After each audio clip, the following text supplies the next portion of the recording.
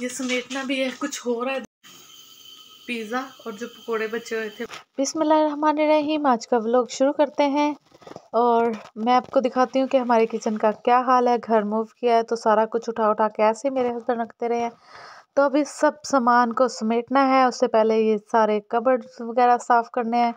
अलमारियाँ साफ़ करनी है, उसके बाद सबसे पहले तो ये सामान उठा के हम बाहर रखेंगे उसके बाद कबर्ड वगैरह, अलमारियाँ वगैरह साफ़ करेंगे।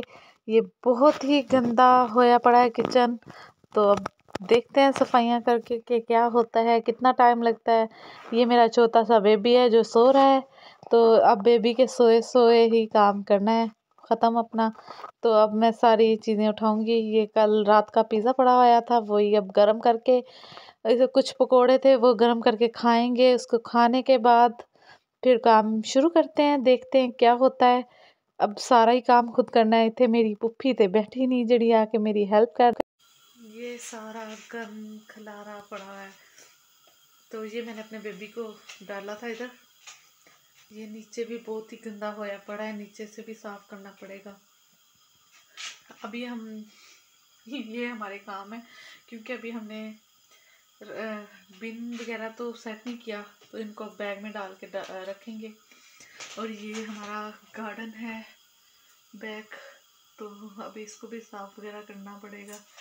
प्लेटें वगैरह तो है नहीं है तो ये मैंने कल लंच बॉक्स इन इसको खोला था। तो इसके ढक्कन के ऊपर ही चीज़ें रख के खाएँगे।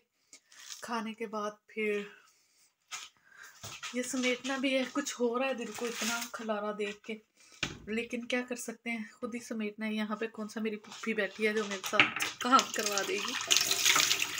चलो, देखते हैं क्या होता है। देंगे अपना देसी जुगाड़।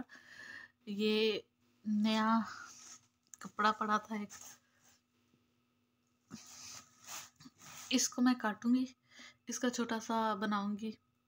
या इसे सफ़ाई करूँगी। या फिर देखती हूँ कोई कपड़ा मिल गया। किचन की सफ़ाई के लिए सामान तो था। कोई मिल गया तो वो निकाल के उसे क्लीन करूँगी, नहीं तो ये कपड़ा तो है ही है। फिर आगे देखते हैं क्या होता है। अल्लाह मालिक। ठंड बहुत ज़्यादा थी तो मैंने नीचे ये, क्या कहते हैं, कलीन कह लो, जो मर्ज़ी इसको रग रग रख के ऊपर बेबी की सीट रख दी ताकि उसे ठंड ना लगे। और ये मेरा पिज़्ज़ा इतना इसकी बेस हार्ड हो गई थी, खा के दिखाती हूँ। क्रंची होगी पूरे ऊपर। तो अल्लाह का शुक्र किया है, मिल गया खाने को। और दो बज के तकरीबन सोलह मिनट हो गए तो अब हम काम स्टार्ट करते हैं। बेबी सोया है तो जब तक काम। तो शुक्र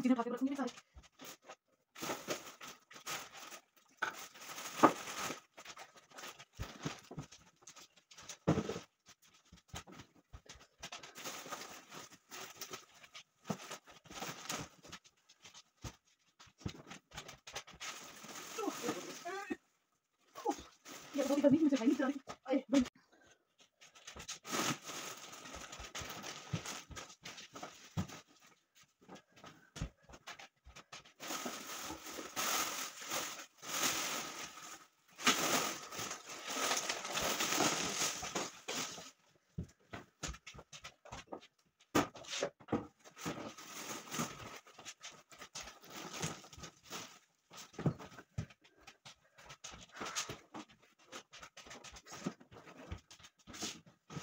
मैंने सारा गंद उठा लिया। ये बस मैंने दो चार जो बर्तन थे, ये मैंने पड़े रहने दिए क्योंकि कल भी मेरे से गिलास टूट गया था तो मैंने कहा इधर ही पड़े रहे तो सफ़ाई करूँगी। अब ये सारी क्लीनिंग की है तो ये मेरा बच्चा भी उठ गया थोड़ा, इसको अब देखूँगी। तो लोग पता नहीं कैसे गंदगी में रह लेते हैं, ये मैं आपको दिखाती हूँ। ओए ओए ओए, मम्मा आ गई। चलो मैं अपने बच्चे को देखती हूँ। Bye bye. अब किचन की सफ़ाई के लिए मैंने इसमें फेरी मिक्स करनी थी, फेरी फेरी फेरी। तो इसमें डालूँगी ये लेमन वॉशिंग अप लिक्विड और थोड़ा सर्फ डाल के इसके अंदर तैयार करते हैं मिक्सचर और फिर लगते हैं सफ़ाई को पर गर्म पानी आने का वेट करते हैं। गर्म गर्म पानी आ जा। पानी के अंदर फेरी डाल लिए तो मुझे कपड़ा ये मिल गया क्लोथ साफ़ करने के लिए, क्लीनिंग के लिए। तो अब इसमें से लेते हैं कपड़ा और शुरू हो जाते हैं सफ़ाई जल्दी जल्दी। और अब ये पता नहीं कहाँ से आ रही है, क्यों आ रही है, इसका मुझे समझ नहीं आ रही। है ना मैनू करंट ही लगा हुए तो चलो देखते हैं, इसका क्या करते हैं, इसको। मैंने साथ ही साथ सामान रखना शुरू कर दिया, ये अखबार मुझे मिल गए थे तो मैंने रख के अब पत्ती रखी थी और रखा था, नमक रखा था और मसाला रखा था। थोड़ी मैंने चीज़ें रखी थी जो जो मुझे नज़र आ रही थी। तो इसी तरह मैंने सारा कुछ कबर्ड में रख दिया। अब मैं जो कुछ मसाले रह गए हैं वो डब्बे में डालूँगी। ये सारे डब्बे बना के उसके बाद फिर रखूँगी, फिर आप लोगों को दिखाऊँगी। फिर आप लोग बताइएगा कैसी हुई सफ़ाई। मैंने काफ़ी ज़्यादा चीज़ें अलमारी में रख दी हैं, सारा कुछ सेट कर दिया है। अब मैं खाना बना रही हूँ साथ साथ सफ़ाई भी कर रही हूँ साथ साथ का साथ साथ मैं खाना भी बनाऊँगी क्योंकि पतिदेव आने वाले हैं तो उनके लिए खाना भी रेडी होना चाहिए। ये पता नहीं कैसे लोग थे यहाँ पे। इतनी सफ़ाई करने के बावजूद भी कबर्ड के ऊपर अजीब तरह के स्टेन पड़े हुए हैं। अब क्या कर सकती हूँ? जितना मैं कर सकती थी मैंने किया। अब मैं साथ साथ चिकन बना रही हूँ। चिकन रेडी हो, होगा तो तब तक हस्बैंड ने भी आ जाना है। तो ये छोटा सा मेरा जो लड्डू है ये मुझे तंग कर रहा है ये मुझे काम नहीं करने दे रहा। किचन हो गया है मेरा एकदम टिप टॉप साफ़ सुथरा जितना मैं कुछ मार सकती थी रगड़ रगड़ के उतना मैंने किया अब मैंने इसको वॉश कर दिया अच्छी तरह से साफ़ कर दिया है। ये मैंने साइड पे कुछ चीज़ें रखी थी।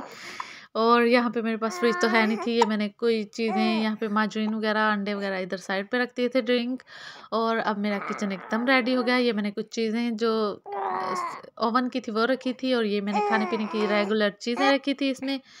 जो हम नॉर्मली खा सकते हैं, खाते हैं, चाय वगैरह के साथ, ये रेगुलर चीज़ें हैं, जैसे नमक, चीनी, आटा, ओ, आटा पत्ती वगैरह और कॉफ़ी वगैरह।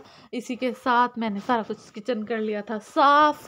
अब गाइस अल्लाह हाफिज़ बाय अगर वीडियो अच्छी लगे तो लाइक शेयर करना मत भूलिएगा सब्सक्राइब कर दीजिएगा, शुक्रिया।